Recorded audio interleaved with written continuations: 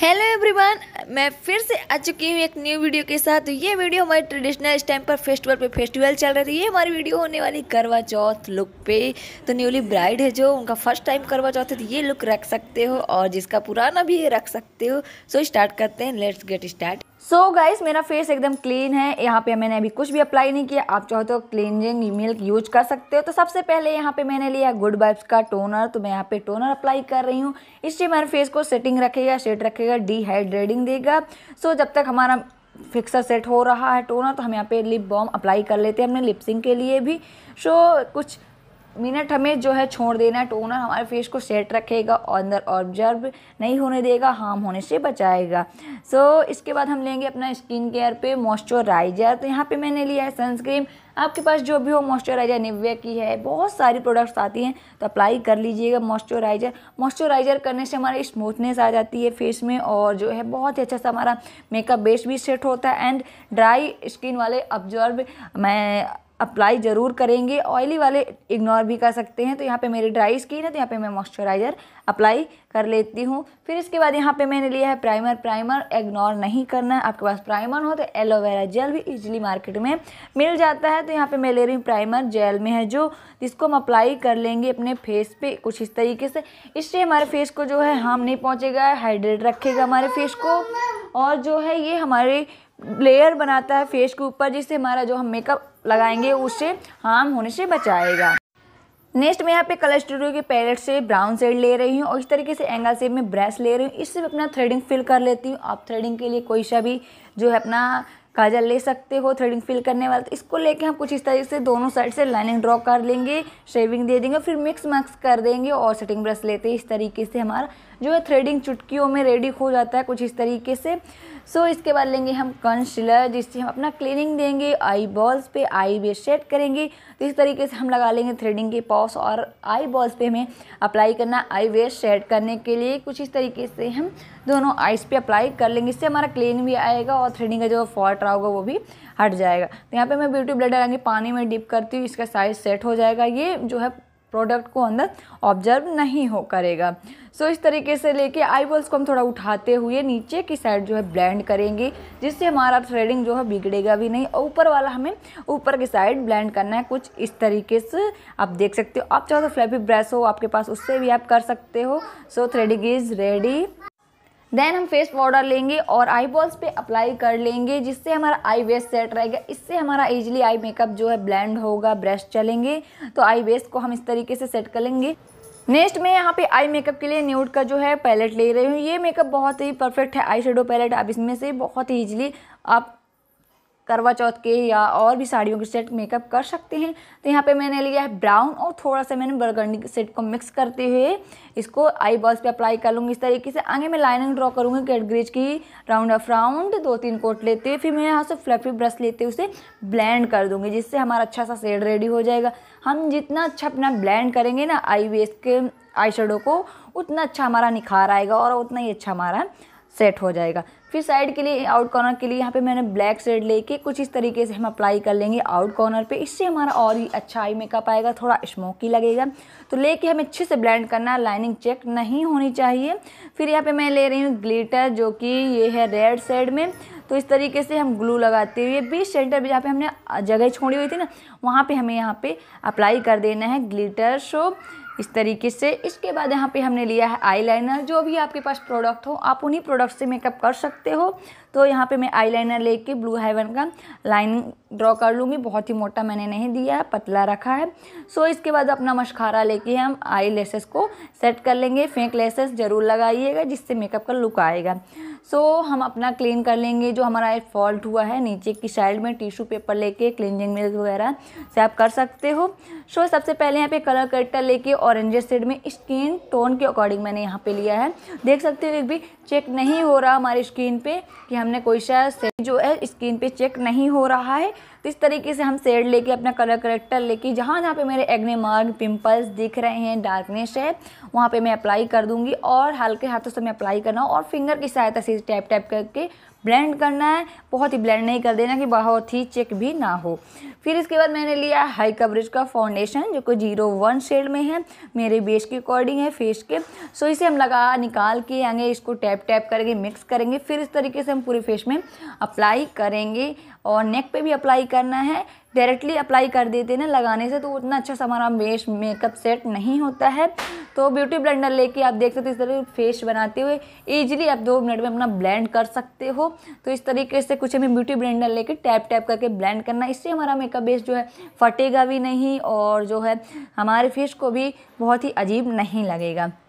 सो so, देख सकते हो आप कितना अच्छा क्लीन एकदम सेट हो चुका है। लग ही नहीं रखा हमने कुछ प्रोडक्ट इस तरह लगाया हुआ है। सो so, वही कंसीलर लेके हम हाइलाइटिंग देंगे। तो मैं यहाँ पे नोज़ पे आई बॉल्स के नीचे डार्कनेस पे यहाँ इस तरीके से अप्लाई कर लेंगे और फोरहेड पे थोड़ा हाइलाइटिंग के लिए। हमें जहाँ जहाँ हाईलाइटिंग एरिया की ज़रूरत हुई, वहाँ पे हम अप्लाई कर लेंगे। और मैंने यहाँ पे ब्यूटी ब्लेंडर इस तरीके से लेके कुछ अप्लाई कर लेना है फिक्स कर देना है। ब्यूटी ब्लेंडर को ब्लेंड करते हुए करना है और आई बॉल्स वाला हमें थ्री एंगल पे देना है एंगल सेप में। तो इस तरीके से हम लगाएँगे ना तो हमारा फाउंडेशन और कंसीलर जो है अच्छे से ब्लेंड हो जाएगा। चेक नहीं होगा कि हमने कुछ लगाया है ऊपर से नेक्स्ट हमारा होगा कॉन्टोरिंग तो कॉन्टोरिंग के लिए यहाँ पे मैंने मिस एडियस का पैरेट लिया है। यहाँ पे हमें हाइलाइटर्स बनाना पाउडर और ब्रॉन्जिंग पाउडर मिल जाएँगे। तो यहाँ पे फ्लफी ब्रश लेते हुए एंगल से मैं ब्रॉन्जिंग पाउडर लूँगी डस्ट आउट करूँगी डायरेक्ट नहीं अप्लाई करना है। तो इस तरीके से हम अपना फेस बनाएँगे और एंगल ब्रश में ना एंगल ही बना रहता है। तो इस तरीके से हम तिरछा लगा के एंगल ड्रॉ कर लेंगे, फिर उसे मिक्स मैच कर देंगे। तो आप देख सकते हो कितना ईजी कितना अच्छा लगने लगा ना। हमारे चेक्स इससे बहुत ही अच्छे दिखने लगते हैं दूसरे ही सेविंग में। तो यहाँ पर हम जो लाइन्स पर अप्लाई कर देंगे फोर हेड पे अप्लाई कर देंगे। जिसका लंबा फेस है, वो लगाए मोटा है, वो छोटा कर सकता है, गोल कर सकते हैं। सो इस तरीके से फिर हम नोज़ के लिए फ्लफी ब्रश छोटा से लेके आगे लाइनिंग ड्रॉ करेंगे सीधी से। फिर उसे हम मिक्स मैच कर देंगे, इससे हमारा नोज़ अच्छा दिखने लगता है। मेरा नोज़ थोड़ा तिरछा है तो बहुत अच्छा सेविंग आ जाती है। नेक्स्ट फिर मैंने यहाँ पे लिया है blade wet liquid blush zero five shade में है। आप चाहो तो पाउडर ब्रश भी ले सकते हो ब्लश। सो इस तरीके से लेके आगे मैं लगा लेती हूँ ड्रॉ कर लेती हूँ। फिर फ्लैफी ब्रश लेके हम इसे ब्लेंड कर लेंगे। तो हमें इसे स्माइल करते हुए अप्लाई करना है। तो आप देख सकते हो कितने अच्छे से ब्लेंड हो जाता है। ब्यूटी ब्लेंडर से भी आप ब्लेंड कर सकते हो। तो स्माइल करने से ना हमारा चिक्स का अलग ही चेक हो जाएगा। बोन्स हमें कहाँ पे अप्लाई करना है। तो इस तरीके से लेके ऊपर की साइड हमें ब्लेंड करना है अपना जो है ब्लशर को। देख सकते हैं आप। तो इस तरीके से हमारा परफेक्ट सेप रेडी हो जाता है कॉन्टोर और ब्लश का। फिर लूज पाउडर लेंगे हम अपना इसे सेट करने के लिए। तो यहाँ पे हम आई बॉल्स के नीचे जो है चो लाइन्स देंगे चिक्स के पास। इसे हम दो मिनट लगा के रेस्ट देंगे। जब तक मैंने यहाँ पे आउटलाइनिंग के लिए रेड कलर की ली है आउटलाइनिंग कर लेंगे अपना कुछ इस तरीके से। जब तक हमारा पाउडर सेट हो रहा उससे हमारा मेकअप लॉन्ग लास्टिक रहेगा वाटर प्रूफ रहेगा। सो so, इसके बाद हम फ्लैफी ब्रश लेके उसी को अपना डस्ट आउट कर देंगे। इसे हमें ब्लेंड नहीं करना है डस्ट आउट करना है तो हम इस तरीके से इसे निकाल देंगे। इससे हमारा मेकअप भी लॉन्ग लास्टिक रहेगा और जो है सेविंग वगैरह भी बहुत अच्छे से चेक होने लगती है। अच्छा क्लीन क्लीन हमारा बेस दिखने लगता है फेस भी दिखने लगता है। सो आप देख सकते हो पूरे फेस पे इस तरीके से हम डस्ट आउट कर देंगे। सो so, यहाँ पे हम लेंगे अपना फिटमी का फिक्सर आपके पास जो भी हो अप्लाई कर सकते हो तो यहाँ पे अपने मेकअप को लॉक कर देंगे। फिर इसके बाद मैं ले रही हूँ कत्थी कलर में, जो है लिपस्टिक आउटलाइनिंग हमने पहले से ही किया हुआ था। तो इस तरीके से हम अप्लाई करेंगे आउटलाइनिंग के। अंदर अंदर ही कुछ इस तरीके से एडिटिंग करना है। आउटलाइनिंग लिपस्टिक तो बहुत ही अच्छे से लगाना है। लिपस्टिक गई तो पूरा मेकअप ही गया। तो यहाँ पर इस तरीके से लगा के मैं यहाँ पर मिक्स मैच कर दूँगी। हमारी जो है लिपस्टिक रेड।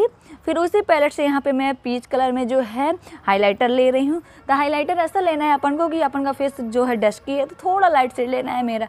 ज़्यादा गोरा टाइप के हाथ में लाइट वाइट ले रही हूँ, पीच कलर ले रही हूँ। तो यहाँ पर हम चिक्स पे नोज़ पे फोर हेड पे अपर लिप्स पे जोलेंस के पास इस तरीके से अप्लाई कर लेंगे और जो है इनर कॉर्नर पे थ्रेडिंग के पास अप्लाई करेंगे और आउट कॉर्नर पे सामने की साइड हम आइस पे अप्लाई कर देंगे। इससे हमारा बहुत अच्छा सेव और नेचुरल ग्लोइंग लगता है। फिर इसके बाद मैंने ब्लैक कलर का काजल लिया है तो हम ना थोड़ा सा जहाँ पे हमने वाटर लाइन्स के ऊपर आई बॉल्स पे अप्लाई करेंगे काजल, फिर उसी को हम नीचे अप्लाई कर देंगे कि कुछ इस तरीके से ब्लेंड करेंगी, अच्छे से लगाना है डस्की नहीं लगे वाटर आ रहा है तो आप थोड़ा सा टिश्यू पेपर लेके इस तरीके से निकाल सकते हो तो हम काजल अप्लाई कर लेंगे। फिर वही सबसे पहले वाला हम ब्राउन गंडी कलर लेंगे बरगंडी कलर सो इस तरीके से हम अप्लाई कर देंगे काजल के नीचे वाटर लाइन्स के नीचे। फिर यहाँ पे मैं फेस पाउडर लेके लॉक कर दूँगी अपना जो है आई को, क्योंकि जो है बहे वहे नहीं सेट रहा है तो इस तरीके से हम लेके सेट कर देंगे। फिर हमको मशखारा लगा लेना है, ऊपर नीचे अच्छे से आई फॉल्स लगा लेना है आई लेसेस फॉल्स वाले। So makeup is done so so guys आप इस तरीके से ओपन हेयर पे भी रख सकते हो। कुछ इस तरीके से लुक आएगा। अगर ओपन हेयर नहीं रखना तो यहाँ पे मैं जूड़ा हेयर स्टाइल भी लेके आई हूँ। तो इस तरीके से कुछ हम पीछे से अपने लेयर को डिवाइड करेंगे। आप देख सकते हो, पीछे से हम पकड़ेंगे और सीधी एक मांग निकालेंगे पीछे से, जिससे चेक हो और हम लेंगे। इस तरीके से पफ उसे हम लगा देंगे पीछे की साइड थोड़ा सा हम इसे फुला देंगे।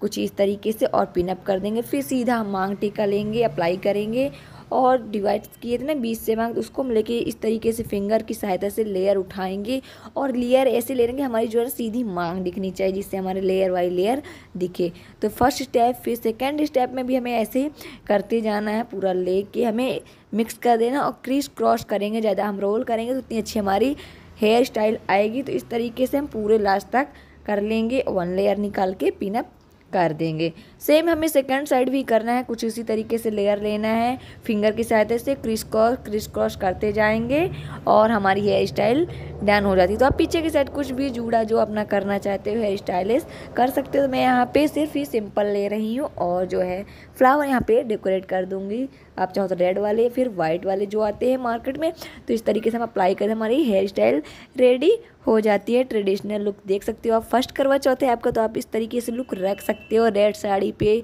न्यूली ब्राइड के जैसे पूरा मेकअप ट्यूटोरियल करके ज्वेलरी वगैरह जो भी आप रखना चाहते हो अपनी।